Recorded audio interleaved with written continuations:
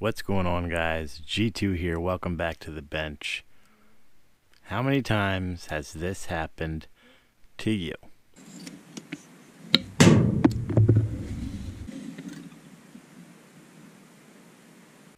Well, if you're like me and if you have ever taken apart or put together a lower, at some point in your assembly career, you have battled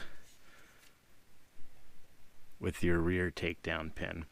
Whether it's the spring, the detent, maybe you're just taking it apart, not paying attention, and everything flies and shoots out of the back. It's happened to everyone. If it's never happened to you, then you're a liar or you've never done it.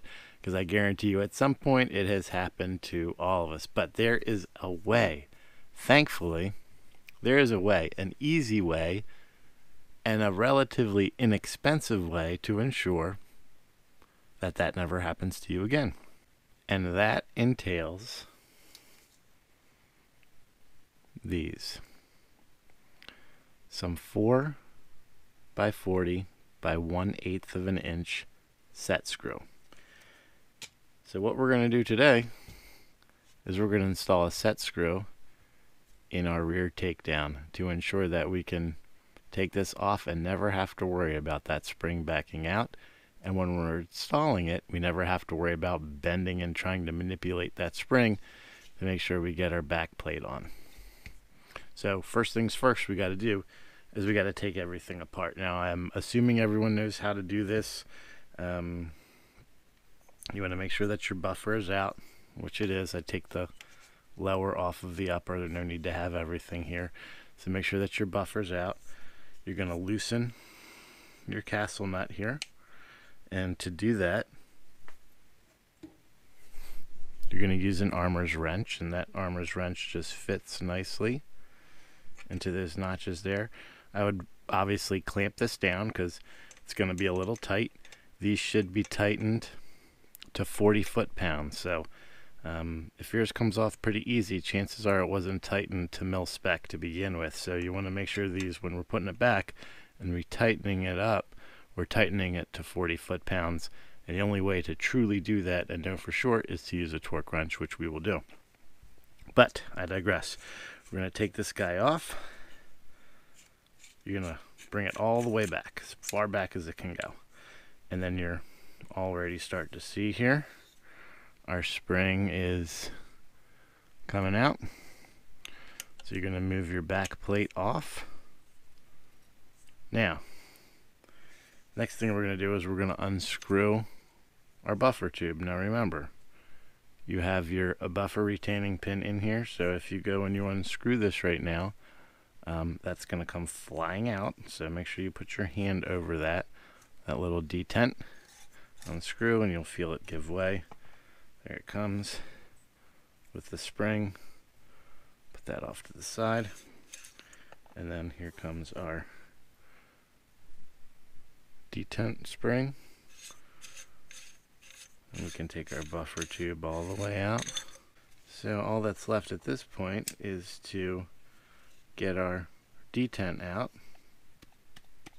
which hopefully we can. It's in there pretty good. There it is.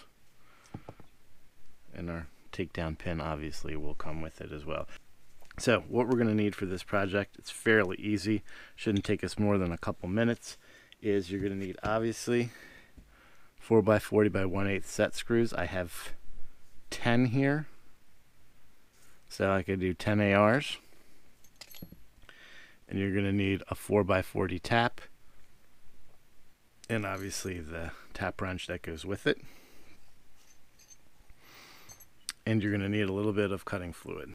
For us, we're just going to use some good old 3-in-1 oil. That's going to be more than enough. Let's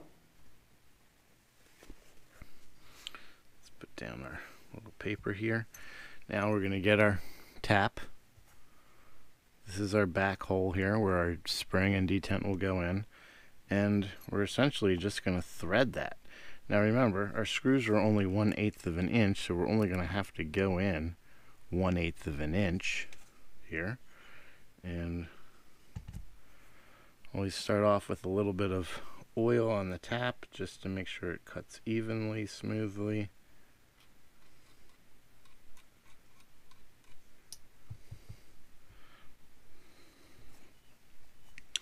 So set it up so it's parallel, pretty perpendicular, and you're just going to get it started here, and you'll feel it start to go. Okay, so it's starting to go here. Now as you're doing this, you're going to do a couple turns, back it off, because you don't want ch the chips to start to block your um, your tap. So take it on, take it back a little and continue the process, just taking a little bit off at a time.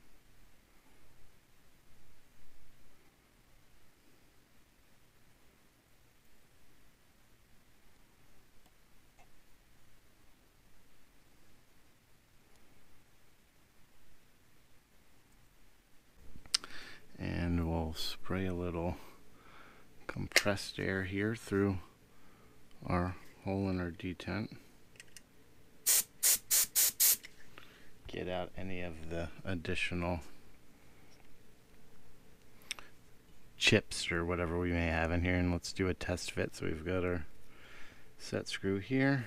We're just gonna screw it in.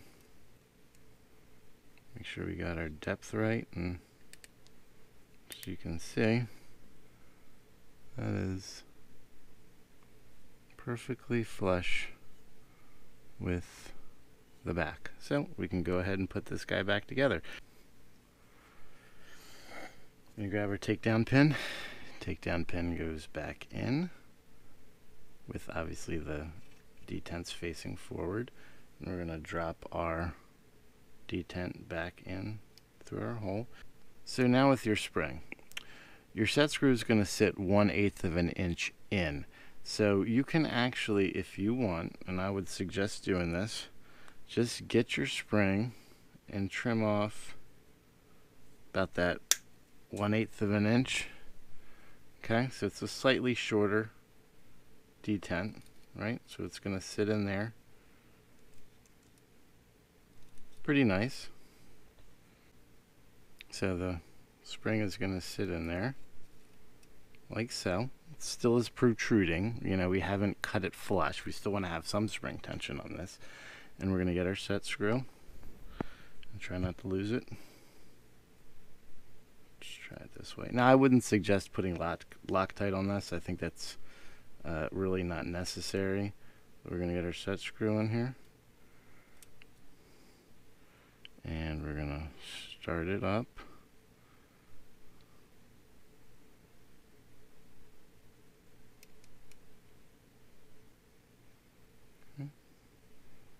We're going to just set it home.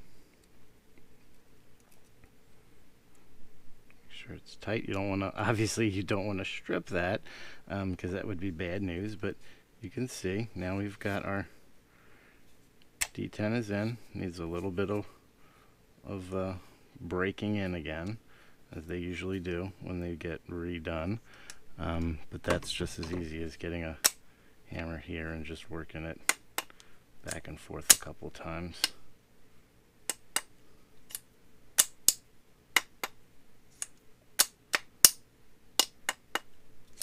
Okay, now we should be able to, yeah, use this by hand, no problem. It's got a little bit of click to it, not super tight to get out. That's pretty much perfect for me. And we're going to go ahead and look how easy it is now Look how easy it is now to install your buffer. No spring to worry about. Um, no screws coming out. All you got to worry about now is getting your buffer retaining spring and your buffer retainer in position. And you just screw that down. Make sure it's seated correctly right? So you don't want to over tighten it, you know? Want to make sure we've got it set it set correctly. And we put our plate back on. Castle nut on.